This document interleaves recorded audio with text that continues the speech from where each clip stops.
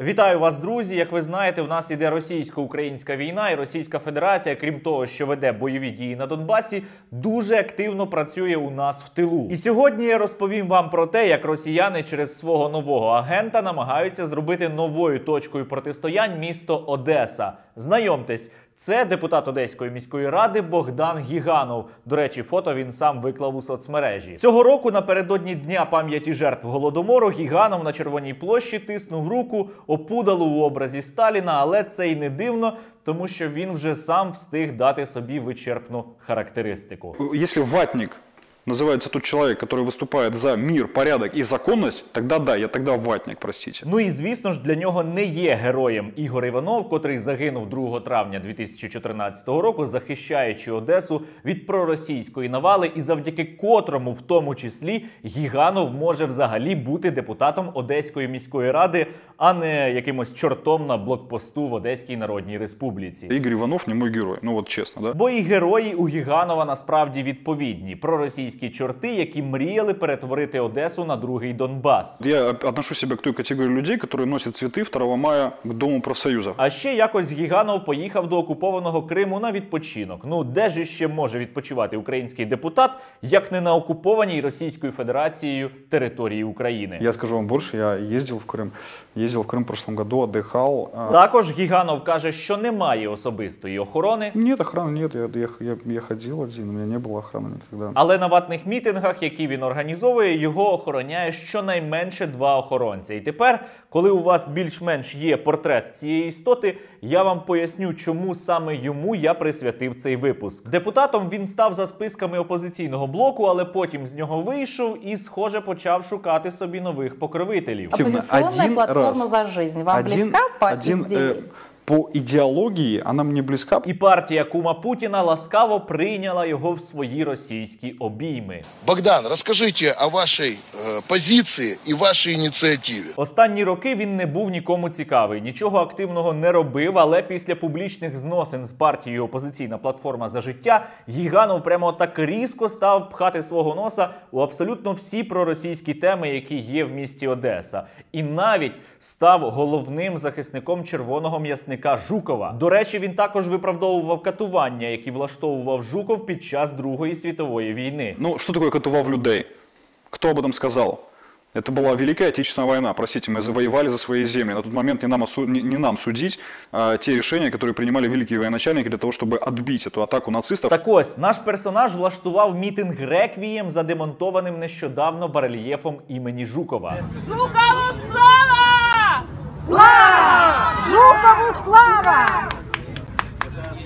І після цього він попив зі зливного бачка під назвою Ольга Скабєєва, поїхавши на російський федеральний канал Росія 1 який всього лиш навсього причетний до пропаганди агресивної війни проти України. Я очень надеюсь, что вы победите, и главное, чтобы вас еще конкретно не засудили. И за тот случай, и за участие в нашей программе. А коли він повернувся до України і зустрів шквал справедливої критики, то послав нас усіх в жопу. Пошли они в жопу. Паралельно він погрожував одеському активісту Сергію Гнезділову, і практично одразу після цих погроз на нього було скоєно замовний напад. І сам Гіганов цьому зрадів та заявив, що це ще не кінець, і потерпілий ще своє отримає. Мы настолько озлобились, мы настолько вытерли наши мозги. 1 грудня до дня народження Жукова Гіганов організував ватний мітинг, на котрий ватка принесла квіти з траурними стрічками.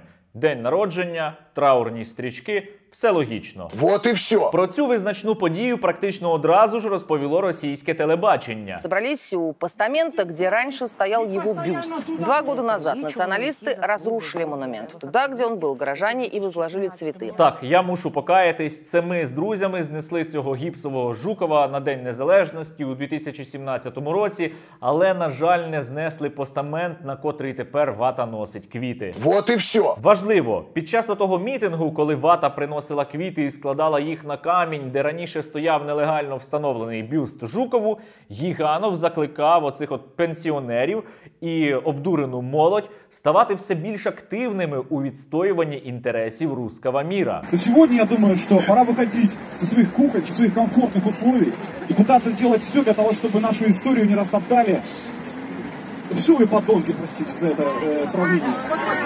І якщо вам було мало всього того трешу, про який я щойно розповідав, то маю вам ще сказати, що Гіганов також зайнявся спекуляціями на темі 2 травня та вимагає від свого кумира Геннадія Труханова встановити пам'ятник проросійським колаборантам, які всього лиш навсього хотіли зробити з Одеси так звану Одеську Народну Республіку. Схоже, ми зібрали ватне бінго.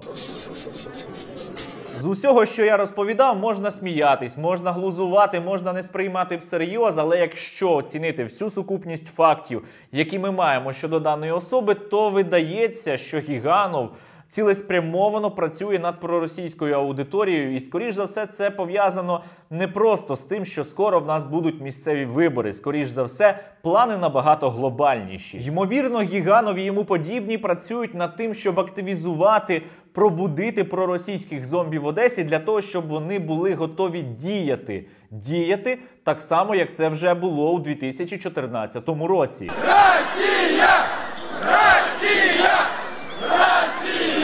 А тому ми з вами повинні бути на поготові. Далеко не факт, що Гіганов його прокремлівські куратори на кшталт Віктора Медведчука взагалі колись опиняться у в'язниці. І за таких умов ми повинні бути ще більш пильними. Ми повинні завжди відповідати на кожну антиукраїнську провокацію, яку робить Російська Федерація руками своєї агентури в Україні. Якщо їх не зупиняти прямо ось вже, то наслідки можуть бути катастрофічними. Підписуйтесь, коментуйте, діліться цим відео з друзями та пам'ятайте, що 5 років тому Україну врятували не правоохоронні органи, не народні депутати і навіть не щасливий збіг обставин. Україну врятували звичайні громадяни, котрим було не пофіг. Війна триває, і російський агресор нікуди не подівся. Так що робіть висновки.